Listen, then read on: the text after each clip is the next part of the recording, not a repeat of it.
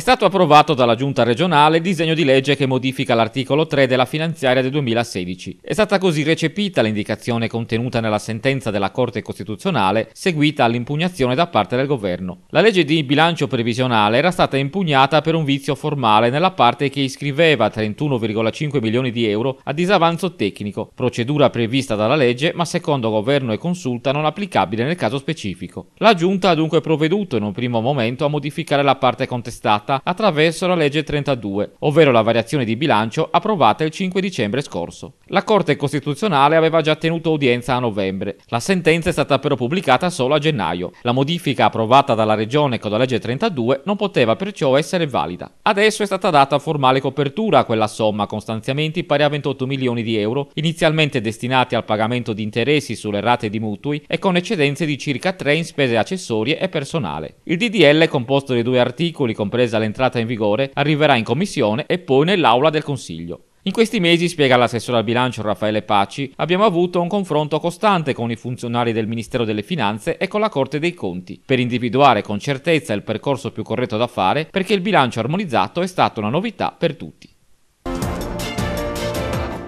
Da un anno e mezzo nella sanità sarda insiste il blocco del ricambio occupazionale, per il quale non si poteva sostituire con nuovo personale chi andava in pensione. Ora la giunta regionale ha sbloccato il turnover in ospedali, aziende universitarie e nell'ATS in generale. Le assunzioni, ha dichiarato l'assessore alla sanità Luigi Arru, avverranno in autonomia secondo le esigenze delle singole aziende, con il vincolo di rispettare i tetti di spesa stabiliti nel bilancio. Il titolare dell'assessorato Arru ha anche chiarito che le sostituzioni del personale potranno anche non tener conto del ruolo lasciato scoperto aperto e coprire invece mansioni secondo altre priorità. Lo sblocco del turnover era stato richiesto a gran voce dai sindacati del personale sanitario, i quali avevano lamentato le ripercussioni sulla qualità del servizio pubblico per le carenze di medici, infermieri e ausiliari amministrativi. Incassato il successo della delibera che dà un po' di respiro all'organico delle aziende sanitarie, Luigi Arro è stato silurato da sei consiglieri regionali del suo stesso partito, il PD, ma di area diversa, i quali chiedono chiarimenti sulla nomina da parte del direttore generale dell'ATS, Fulvio Moriano, del direttore amministrativo Stefano Lorusso. I consiglieri hanno espresso dubbi sul possesso dei requisiti richiesti per ricoprire l'incarico affidato a Lorusso, problema che, al di là della competenza professionale del direttore, dicono, potrebbe causare illegittimità negli atti adottati dal dirigente nel caso di un'accertata inidoneità all'incarico. Cresciuta la domanda ma anche i prezzi delle abitazioni nell'isola e l'esito dell'analisi condotta dall'osservatorio di casa.it. Segnale di ripresa dunque per immobiliare in Sardegna dove si registra più 4,3% della richiesta e più 2,7% per i prezzi, con un valore medio di 2.260 euro al metro quadro, mentre il budget per famiglia mediamente si attesta intorno ai 180.000 euro. L'analisi fa riferimento ai primi due mesi dell'anno in corso in rapporto agli stessi del 2016. Per quanto riguarda i prezzi degli immobili in offerta sul mercato, tra i capoluoghi registrano segno positivo Iglesias con più 1,9%, Nuoro e Cagliari con più 1,3% e Carbonia con più 0,7%. Prezzi in calo solo ad Oristano con meno 2,1% e a Sassari con meno 0,6%. Restano sostanzialmente stabili a Tempio e Olbia, dove con 3.090 euro metro quadro risulta la città più cara, mentre Carbonia con 1.400 1410 euro e Oristano 1430 le più economiche.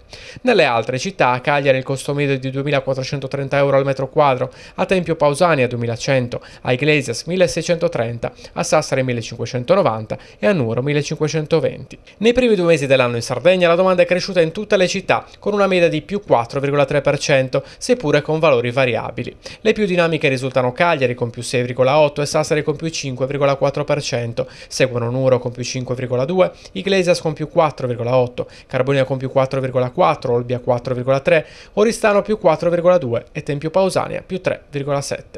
Tra i fattori che hanno condizionato positivamente la ripresa dell'immobiliare fanno sapere da casa.it un più facile accesso al credito concesso dalle banche e ai tassi minimi.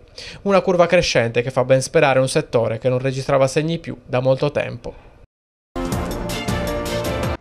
L'ex mercato civico costituisce uno dei pilastri dell'azione di rivitalizzazione del centro storico che sarà attuata grazie agli ITI, gli interventi territoriali integrati. 6 milioni di euro sono destinati alla struttura, negli ultimi anni dismessa e sottoutilizzata, ma che rappresenta uno dei luoghi simbolo della Sassari antica. Collega la città murata con i quartieri ottocenteschi. Dopo l'apertura del nuovo mercato nel 2012 ha invece perso la sua funzione principale di area mercatale, ha spiegato martedì pomeriggio il sindaco Nicola Sanna ai consiglieri comunali. L'assemblea civica era chiamata ad esprimersi sulla sdemanializzazione dell'ex mercato, che adesso è quindi riclassificato quale bene patrimoniale e potrà essere messo a disposizione di chi lo prenderà in gestione. Con gli itti la vecchia struttura avrà due funzioni complementari e diverse rispetto al passato. Sarà un luogo di incontro e aggregazione, catalizzatore di coesione sociale per le diverse comunità che vivono nel quartiere, ma l'obiettivo è anche quello di far diventare l'ex mercato un volano per le attività commerciali di quello nuovo e di rilancio del settore terziario. Sull'esempio di altre realtà italiane ed europee, gli spazi saranno riorganizzati come struttura articolata, capace di attrarre un pubblico variegato e diversi target di popolazione.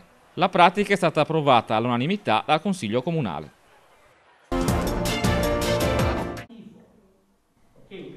La macroeconomia si può spiegare con concetti semplici, comprensibili da tutti e svelare in pochi passi le cause dell'attuale crisi. È la scommessa della MMT Sassari, che inserita in una rete nazionale promuove la teoria della moneta moderna, una valuta che dipende esclusivamente da uno Stato sovrano e che aggira tutte le pastoie dell'attuale organizzazione dipendente dall'euro. In uno degli incontri quindicinali divulgativi aperti al pubblico, Igor Cassano e Giovanni Rubatu hanno spiegato le divergenze tra l'economia neoliberista e l'originale impianto economico-finanziario finanziario di ispirazione keynesiana pensato dai nostri padri costituenti. L'euro non è semplicemente una moneta, non è uno strumento neutro che può essere usato bene o male, ma è un preciso metodo di governo, fortissimamente voluto dalle elite bancarie, finanziarie, nobiliari, industriali che sono al potere per togliere agli Stati la sovranità monetaria, cioè la possibilità di poter spendere a deficit per creare piena occupazione e benessere per i cittadini. L'obiettivo è creare disoccupazione. Perché elevati livelli di disoccupazione costringono i lavoratori ad una concorrenza al ribasso.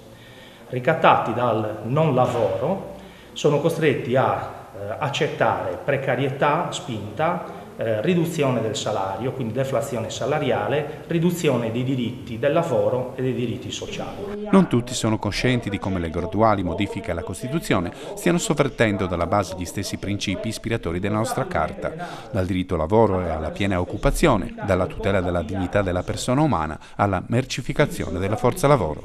In nessun trattato europeo si parla di piena occupazione, si parla solo di contenimento dei prezzi e dell'inflazione, non si parla della dignità della persona, autonoma di tutela del mercato e di competitività fra Stati alla faccia dell'Europa dei popoli e della fratellanza dei popoli. Il prossimo incontro della MMT Sassari si terrà lunedì 13 marzo alle 19 presso la Media Campus a Predaniedda. È stato presentato alla stampa il primo premio letterario Memoria Storica Torresina, racconti aneddoti rossoblu tra prosa e poesia, in collaborazione con l'Università degli Studi di Sassari e il CUS Sassari. Ai nostri microfoni il presidente dell'Associazione Memoria Storica Torresina, Andrea Sini. Noi dall'Associazione Memoria Storica Torresina sosteniamo da, da sempre che, che, la Torres non sia soltanto un'entità sportiva ma sia parte integrante della storia, della cultura delle tradizioni della città di Sassari da, da oltre 110 anni. Eh, e quindi abbiamo pensato di, di sfidare eh, i tifosi, gli appassionati, anche quelli che magari da, da parecchio tempo non vanno allo stadio, eh, chiediamo loro di, di, cimentarsi in un racconto o in una poesia eh, in lingua sassarese o in italiano eh, che, nella quale possano riversare raccontare i loro sentimenti sulla Torres, possono essere racconti inventati oppure eh, racconti che fanno riferimento a fatti realmente accaduti. Ognuno di noi ha, la, ha la sua, il suo racconto della Torres, ha la, la sua prima volta all'acquedotto, ha il suo ricordo della volta che è andato con suo babbo, con suo nonno per mano allo stadio.